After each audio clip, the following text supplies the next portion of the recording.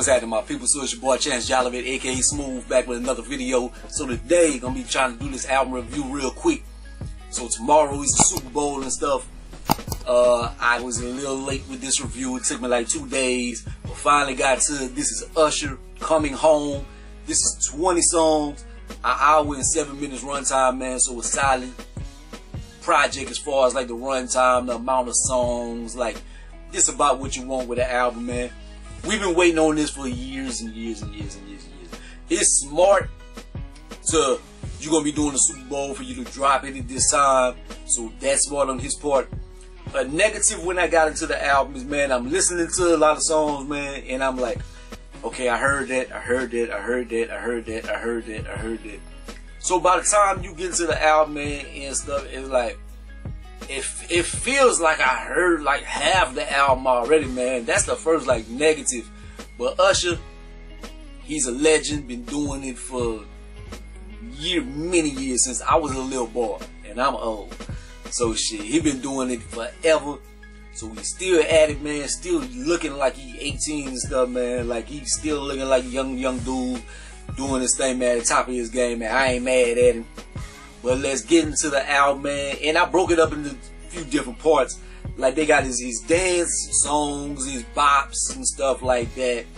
A lot of like some of the bops, like I, I feel like he channeled a little bit of Prince. Not on a lot of, maybe like on three of them or something. But like he got a solid little diversification of stuff, a little something for everybody. Me, I know what I like. You gonna you gonna see the songs that I like. But the little bops, like the dance ones and stuff, is like track three, A-Town Girl featuring Latto. They got like an old time sample, like a old time girl, but it's A-Town Girl. Uh, so they got that right there for the bops. Number six, Keep on Dancing. Uh, nine, Stone Cold Freak. Number eleven, Big. I don't like that Big record, man. When I was in, when I was a young kid, and when I went to McDonald's, I ordered Big always ordered big. I'm like, that was so stupid. I was listening to that in the car and I was like, I don't like this. I'm like, this is stupid. Tracks way up on the side. I'm gonna be that nigga on the side and stuff like that. Like, yeah, yeah, yeah. Uh, 14, I love you. Like a track like that, or I love you, you would think it would be like a more of a ballad or something. It's more of a bop or whatever. 17, Margiela. And then like some of the like R&B type joints or whatever, like it's still maybe like a little mid tempo or something, but I, I, put these in the R&B category. Uh, one coming home featuring Burna Boy. Uh, that's a solid uh, start to the album and stuff. Number two, Good Good featuring Summer in 21. And I would like this one more if I didn't hear it out a million times already. Uh, track five, Kissing Strangers. Uh, 10, Ruin featuring Pheelz. Uh, 16, Luckiest Man. So that's like some of the R&B and my favorite joints, like this is this is what I want to listen to on the album, man. Like the ones that really struck me. Uh, number four, Cold Blooded. Seven, Risk It All, featuring her. And I heard this one a few times. They been had the video and stuff, but I still love that record. Man. I love her. Uh, eight, Bop. Thirteen, I Am the Party. Fifteen, Please You. 18, Room in a Room. 19, One of Them Ones. 20 standing next to you. Uh, that's Jungkook, but uh, they got like a Usher version or something. He might do that when they're the Super Bowl because this seems like that's gonna be a big record. Where I think I've heard that on the radio or something. I swear that I could have or whatever, but very dope record.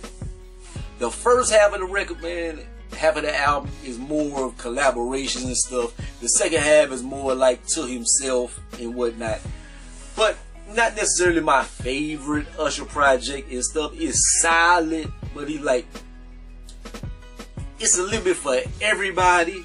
But like, what what you want on your favorite meal? Your favorite meal? If you like Chinese food and that's your favorite food, but you go to the dinner and they got they got Italian, Chinese, they got seafood, they got oysters and octopus and stuff. A lot of stuff that you ain't really crazy about so you gotta dig through to get to your favorite your favorite joints, man.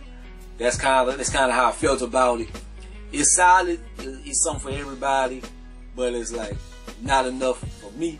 I would give it a solid. I ain't gonna disrespect the legend. Anybody do a Super Bowl performance? I give it a seven out of ten. that's my thoughts, man. Just wanted to drop this real quick, man. I since I do do album reviews on the channel, I don't do them as much because people don't drop as much, and I'm not doing uh, a Playboi Carti albums and stuff like that. But anyways, so solid seven. Like, comment, subscribe. Gonna be the greatest and motivated man. I'll let you boy.